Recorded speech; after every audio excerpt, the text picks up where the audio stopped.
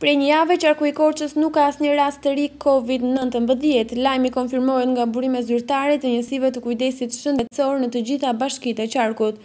Nga Korça është dërguar vetëm një tampon pasi ka pasur një rast të dyshuar me simptoma të ngjashme me koronavirusin, por fatmirësisht ka rezultuar negativ. E njëjta gjë ka ndodhur edhe në Pogradec ku burimet zyrtare flasin për një rast të dyshuar të cilit i është bërë tamponi por ka dalë negativ. Ndërkohë edhe njëmbëdhjetë tampona të dërguar një ditë më parë, të cilat i përkasin oficerëve të Frontex, kanë dalë negativ. Ditën e sotme u janë bërë tamponat edhe tetë oficerëve të tjerë të cilat janë dërguar në ISHP.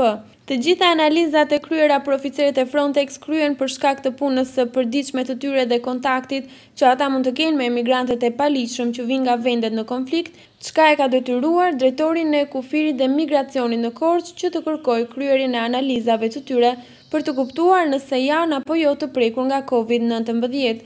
Nëntëmbëdhjetë raste të konfirmuara me koronavirus janë në të gjithë qarkun e Korçës, ndërkohë që shtatëmbëdhjetë janë të shëruar tashmë dhe vetëm dy qytetarë janë të sëmurë aktivë.